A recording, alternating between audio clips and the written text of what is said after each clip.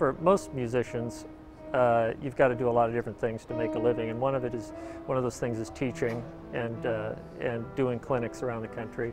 And we just thought, uh, what a great opportunity to get the kids who go to schools here to actually come out and meet their fellow musicians in town. And one of my good friends is a guitar player in Portland, John Stowell, who's like just world class. And so I try to get him every year and then team him up with another world class guitar player, a little guitar summit. Part of the fun is like, let's see how he does it when he Yeah. gets here, and let's see if you know maybe he'll do something different next time, or maybe he'll, you know, it's all and it's all about you know that that kind of uh, Yeah. Conversation going on. That's the fun of it. You don't want to just crush it thinking that you know the chord that's supposed to be there because you memorize it on the Right. chart Yeah. of the song. We're not a marching band. Yeah. You know, the kind of freedom we're talking about, though, um, comes from really learning your craft. And as you become a better player, you also become a better listener. Because the part of your mind that was preoccupied just with the technical execution of the scales and the arpeggios and keeping track of the changes is freed when those things become second nature. Then you get to the point that you can't have the kind of exchanges we're talking about, where you're not concerned about letting the music breathe because you're not going to forget the chord changes. Everything is very clearly internalized. So you teach yourself to do this through repetition. You do something enough, the basic mechanics of playing the tunes, the basic harmony are clear.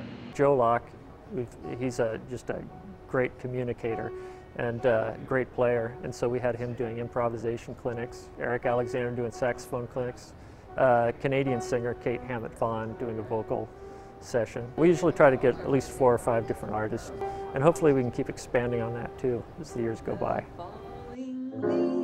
Listen to the melody and the harmony. Drift by my window. The autumn leaves of red and gold. There's our first eight bars. Now, I see your lips. Have we heard this before? The summer kisses. So this is A2. The sunburned hands I used to hold. Now here's something new. It's like anything. Imagine uh, a high school baseball player being able to go and sit down with Ichiro Suzuki and talk to him about his swing, and then they go and they watch him do that. They watch him steal bases, and it's the same thing with music. And so far, it's just it's been phenomenal. The people who come out and and they they stay all day, and that's really great. And it's kind of a validation of all the things we've thought about with putting on our own festival.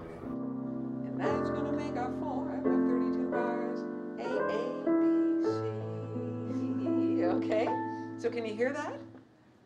fun thing for us is to be able to sit down when the concert starts and be able to see all the work that we put into pay off when there's hundreds of people here enjoying the show and coming up to us afterwards and thanking us for what we do. And so that's what we remember in the end is that, you know, we're going to have this great concert, everyone's going to have a great time, and the fact that we're able to provide this community event that didn't exist three years ago, and now to see it kind of becoming ingrained in the community of Ballard and seeing people walk down the street and see a poster and, oh, it's Jazz Festival's coming up. So that's really nice.